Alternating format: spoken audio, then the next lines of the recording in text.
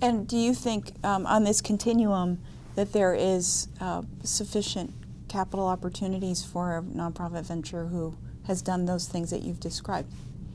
You, you mean, you mean if they're specifically looking to go out and help uh, entrepreneurs fund their growth? Well, if they're looking to fund their own project, like where would they, uh, on this continuum, where would an entity go next? Yeah, so, you know, I think um, we started with our existing relationships with our foundation partners.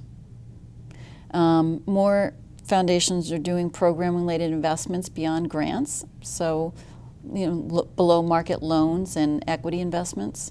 Obviously, in a nonprofit, you can't take on equity, and that's why we chose not to fund our flexible capital fund program through the nonprofit because we didn't want to be constrained by debt. We knew that business model wasn't going to work.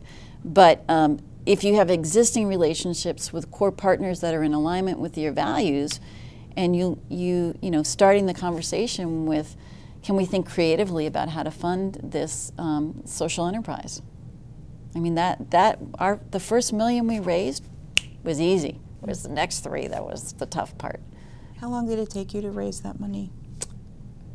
Probably like three or four months because we had already set the stage. It was interesting.